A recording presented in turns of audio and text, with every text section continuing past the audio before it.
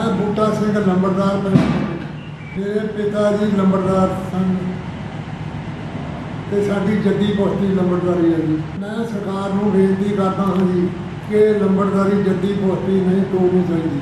ਅਸੀਂ ਬੇਨਤੀ ਕਰਦੇ ਹਾਂ ਜੀ ਸਰਕਾਰ ਕਿ ਜਿਵੇਂ ਹਰਿਆਣਾ ਸਰਕਾਰ ਵਾਂਗ ਸਾਨੂੰ ਵੀ 3500 ਰੁਪਇਆ ਮਿਲਣਾ ਚਾਹੀਦਾ ਜੀ। ਇਹ ਤਸਦੀਕ ਦਾ ਅਧਿਕਾਰ ਜੀ ਸਾਡੇ ਕੋਲ ਰਹਿਣਾ ਚਾਹੀਦਾ ਸਰਕਾਰਾਂ ਨੂੰ ਵੱਧ ਤੋਂ ਵੱਧ ਸਹੂਲਤਾਂ ਸਰਕਾਰ ਦੇਵੇ ਜੀ। ਸਰਕਾਰ ਤੋਂ ਮੰਗ ਕਰਦੇ ਹਾਂ ਜੀ ਤੇ ਜੀਲ ਦੇ ਵਿੱਚ ਸਾਨੂੰ ਕਮਰਾ ਹੋਣਾ ਚਾਹੀਦਾ ਤੇ ਮੈਡੀਕਲ ਜੀ ਸਾਨੂੰ ਸਹੂਲਤ ਦੇਣੀ ਚਾਹੀਦੀ ਹੈ।